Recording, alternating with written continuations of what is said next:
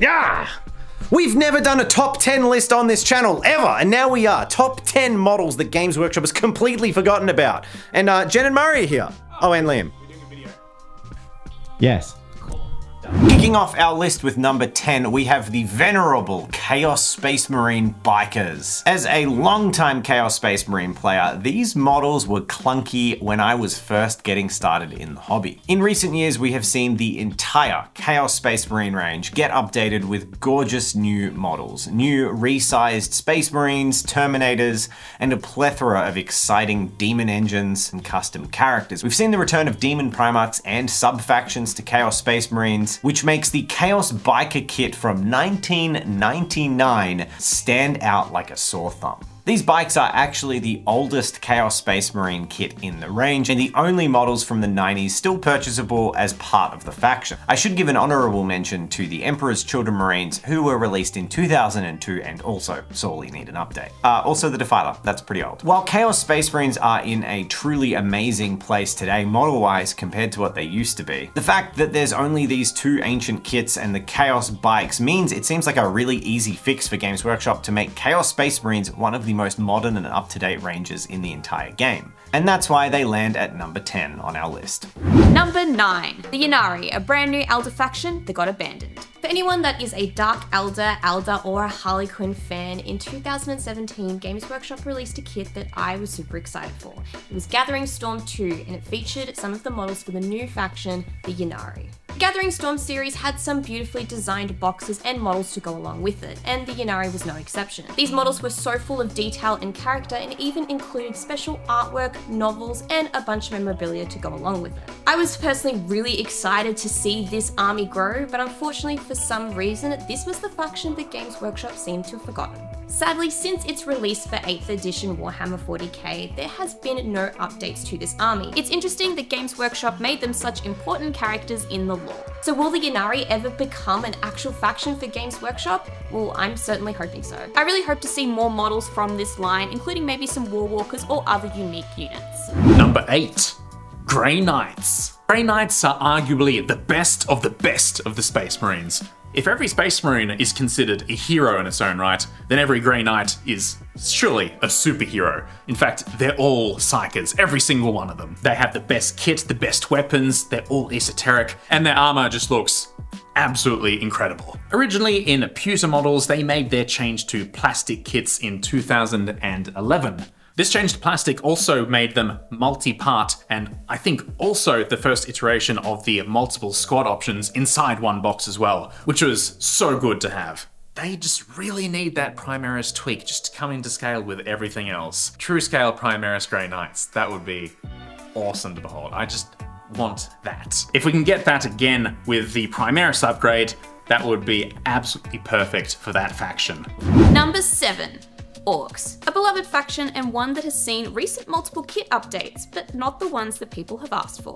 One of Games Workshop's newest releases was the Beast Snaggers for the Orks faction. Now these guys look pretty snazzy, but compared to the rest of the line, I feel like we need to update our Orks. They also received an update on their Orks Boys kit, which was a desperately needed upgrade. Unfortunately, there are a couple of kits that have kind of been left to the wayside. Stormboys, Grots, and Nobz were all released back in 2009. And living up to today's standards, I feel like they all suffer from the same problem. I personally feel like these kits suffer from the old Games Workshop Space Marine static pose, where they desperately need hip joint replacements and to look a little less stiff. We all know orks have so much personality and I feel like these bottles don't really do them justice. We've definitely seen some of the orks personality get fleshed out in some of Games Workshop newer kits, but we just need to see the rest of the range updated. Number 6. Tau Kroot and Auxiliaries. Released in 2001, the Tau Empire were one of the first factions introduced to the Warhammer 40k setting in a long time. When they launched in 2001, they came alongside their Kroot kin, mercenary allies to the Tau Empire with quite a decent small selection of models, including Kroot, Kroot Shapers, Kroot Hounds, and the Krootox. Later on in 2006, this concept of the Tau and their auxiliary forces would be expanded further, with several new species being mentioned in the fluff and the Vespid Stingwings being added to the range. Around this era, Forge World also produced some support for the Kroot range, but sadly, after this point, nothing was seen again. This makes the Kroot over 20 years old, and the Vespids about to get their driving license as they celebrate their 18th birthday. Recently, we have seen a new kill team added, which is a warband of Kroot mercenaries that show us the potential of a fully updated Kroot range. These models look fantastic, but technically, they are not the Kroot warriors that you can field in a Tau Codex. They're their own squad. And with these core Kroot reimagined, it highlights even further just how abandoned the Tau auxiliaries have been. This subset of Tau is in desperate need of a refresh, with all of the attendant Kroot kits, such as Kroot Hounds and Krootoxes, starting to look truly ancient alongside the rest of the faction. Many people, such as myself, would not only love to see these models redone and reposed, but also more Tau auxiliaries added to the range. There are so many mentioned in the lore, it would be really fantastic to see a few more model kits to show off that massively important side of Tau culture. And with such an important impact on the faction's sense of identity and the huge age the kits are showing, that is why we have chosen to put the Kroot and by extension the Tau auxiliaries at number 6 on this list. Games Workshop, let's see some more Tau Orcs. Tau Orcs? Tau Auxiliaries, although Tau Orcs could be interesting. Number 15, tabletop merch freshness. The first thing you'd want in your wardrobe are clothes that support a creator, but as it turns out, that is exactly what you'll get if you go to itstabletoptime.com. Originally posted on August 16, 2023 at 1141, Discord user Dave showcased the amazing merch in a screenshot. It was followed up by an anonymous user who replied, Wow, that merch looks great, and I bet it supports tabletop time. That is correct. It does. Links are in the description. Number five, Imperial Guard regiments. Let's talk about the Imperial Guard, Astra Militarum, and all of their little regiments that kind of don't exist anymore. You can get the rules for Cadians and Death Korps of Krieg because, you know, we have our own little kill teams and such, and Cadia is such a big part of the lore. But what about Catachan, Vostroyans, my boys, the Steel Legion, the Tallarn Desert Raiders. Desert Raiders haven't seen a model since 1998. All of these models, they just give so much life into 40k. It's all about aliens and big space marines and things. So it'd be really cool if we could just get an upgrade sprue, a few kill teams of the different factions, and it's something I'd personally really enjoy seeing being brought back into 40k.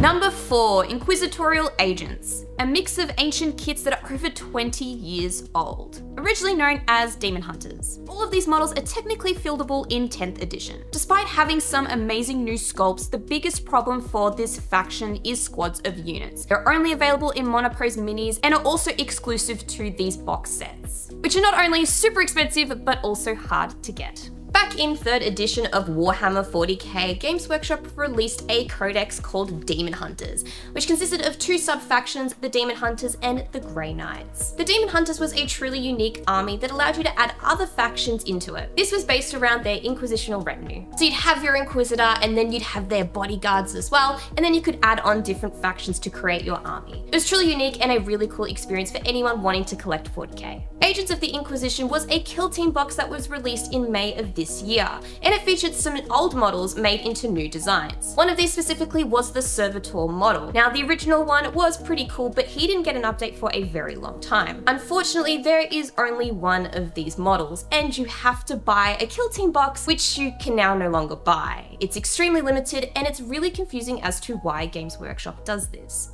Another example was the Crusaders that were also made back for Demon Hunters when it was released originally. Again, these models were in desperate need of an update and they finally got one. This was featured in a very specific game called Combat Arena. Again, it is available for you, but there is only one model of a Crusader. Crusaders also used to be in the 5th edition Guard Codex, but unfortunately were dropped later on. The Crusader model is actually something I'm super interested in, but unfortunately, if I want to get my hands on one, I have to buy the game.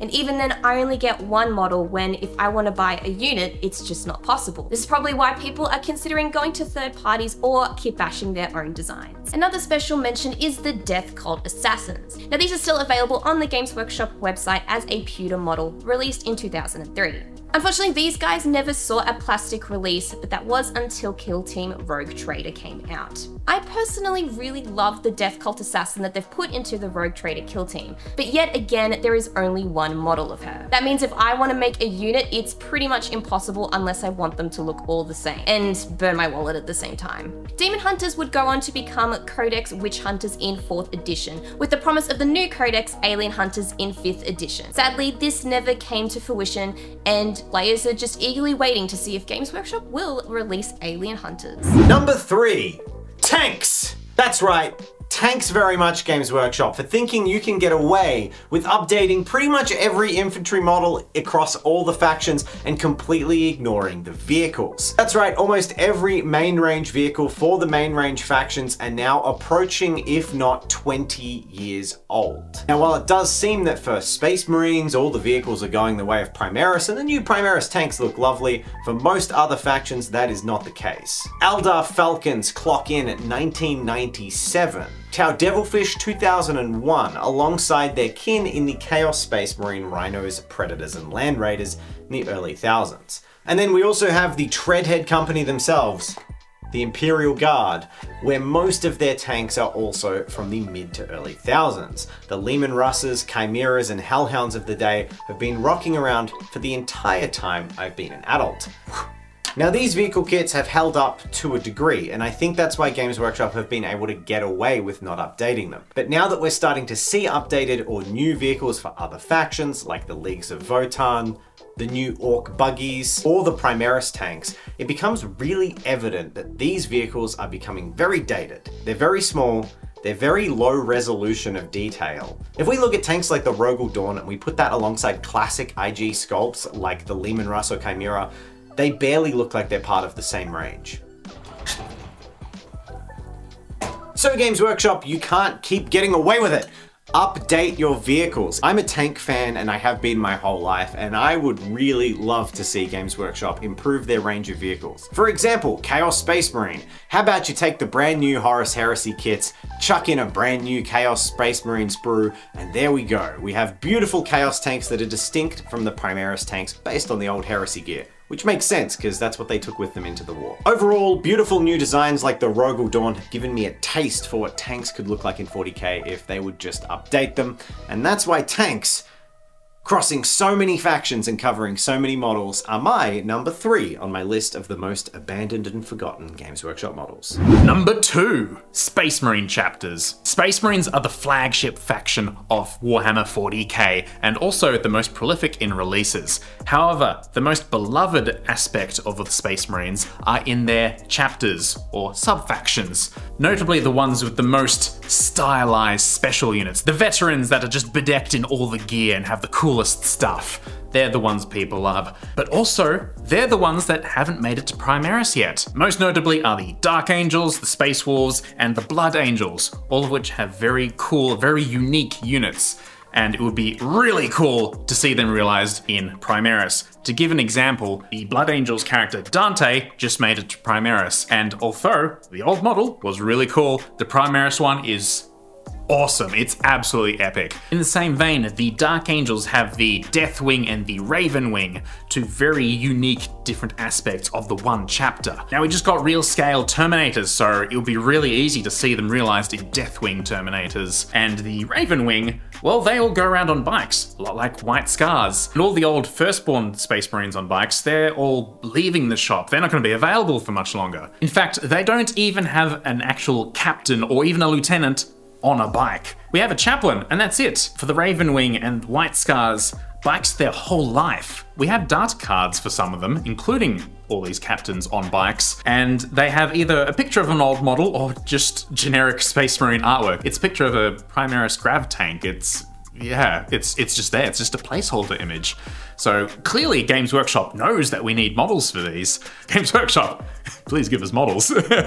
these models are so old they came out when I was wearing diapers. And while it feels like I'll be wearing them again by the time this model gets an update, I have hope. For new Eldar Aspect Warriors. That's right, how could they not be number one on our list? Warp Spiders came out in 1994. The Eldar have been a core part of Warhammer 40k since its inception in Warhammer Rogue Trader. And after the exploratory days of early Rogue Trader, the Warhammer 40k we know today really came to fruition in 1993 with its second edition. Warp Spiders, released in 1994 as part of the Eldar range, these are one of, if not the oldest model kits still available for purchase on the Games Workshop website. While the model kit you currently get is a Finecast recast of the original metal models, they are indeed the very same sculpts that graced the paperbacks of White Dwarf almost 30 years ago. Warp Spiders are beloved by many in the community due to their inclusion in the game Dawn of War. Strike quickly while our enemy slumbers. And these ancient models have held up astonishingly well due to the amazingly high quality heavy metal paint jobs of the ones on the Games Workshop website. You really can't tell how old they are until you see other photos of the models. But it's not just Warp Spiders. Despite being more recent, many of the other Eldar models in their range and Aspect Warriors in particular are almost as old. And far worse than being old, they are single or two or three sculpts in monopose, which are then repeated throughout a pack. The Swooping Hawks are from the year 2000 and the Dire Avengers and Striking Scorpions are from the year 2006. But each one of these three only has around three different sculpts available and all of them are monopose. The exception to this are the Dire Avengers which are a plastic kit but when you compare them to the brand new Eldar Guardians kit, their age becomes quite obvious. Now why are these Aspect Warriors being missing and forgotten such a problem? That's because the Aspects aren't a side faction or a niche element of the Eldar in the way that the Kroot could be considered for the Tau. The aspects are a fundamental part of Eldar culture, heavily represented in the lore and in every game depiction they've ever had. The aspects are the different ways that the Eldar march to war, representing their specialties,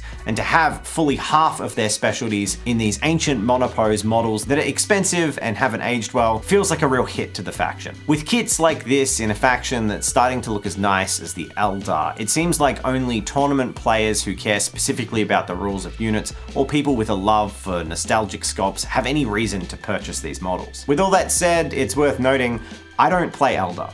I play Chaos, I play Traitor Guard, and I play the Tau Empire. But please, Games Workshop, update the Aspect Warriors. There are rumors that striking scorpions will be seen in a new Kill Team box soon. I really hope that's true. And given how striking scorpions kind of look like Predator, it would be a real miss not to update the Catachan Jungle Fighters and have a Predator box with striking scorpions versus catachans, but you know that won't happen. It's gonna be Space Marine Scouts probably. The Space Elves need it. Give them some love. It's time to let those millennial 90s kids that are the Warp Spiders retire. They're old enough to remember Y2K, so it's about time they got a replacement. And all that is why the Eldar Aspect Warriors top our list, feeling like the number one collection of models that Games Workshop have just forgotten about, despite their importance to the lore and worlds of 40k.